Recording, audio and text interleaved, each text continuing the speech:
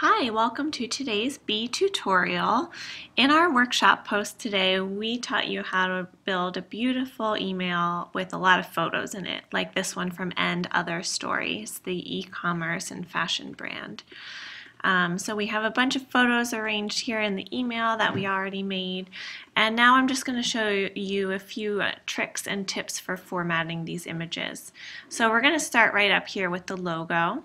Um, the logo right now is the full width of the email and once we click on it we can see over in the content properties menu that this auto width button is turned on. Um, but what we can do is we can actually turn it off and then adjust the width of the logo um, to make it smaller, which is more in line with how the original email was. So this can be applied to any image that you drop in an email where you don't want it to automatically fill to the full width of your email. So it's really easy. Again, you just turn off auto width and then slide. You can also change it, not change it, but update it so that it will be full width when it is on a mobile screen, which is great. Great option to have. Another thing you might want to do with your images, particularly when it comes to showing up on mobile devices, is hide them.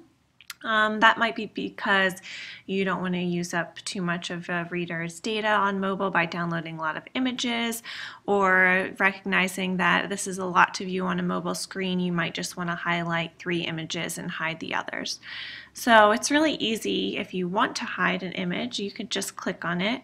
Again, come over to the content properties menu that immediately shows up and just go to the bottom where there's this new feature called hide on mobile. So once I click that, um, this image won't show up on mobile. I'll just have my header and then we'll go right to the first text block. So if you want to see how that looks, we can always preview. And again, here's my email on a desktop, but if I click mobile, you'll see that that image is gone. And the & Other Stories logo also is hitting full width because we updated that. Okay, so one more trick to show you. When you have a lot of images arranged in a photo grid, like this one for instance, um, in the mobile screen, these images are going to stack so that users can see them more clearly. So I think we can already see that um, if we go back to our preview and go to mobile. Yes, so we'll see the first image is full screen size and so is the next one. And so that grid formation is lost just to improve readers' viewing ability on a mobile screen.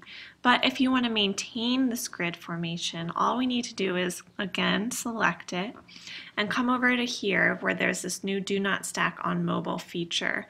So if I select that, the images won't stack and they'll maintain this grid formation that we designed for desktop on a mobile screen too. So if I go back over and preview again, here's our desktop image. And then on a mobile screen, there we go. We have the full grid. Um, so all of these features will help you customize the way your images and image grids, grids look on email on desktop or on mobile screens. And we hope you enjoy them.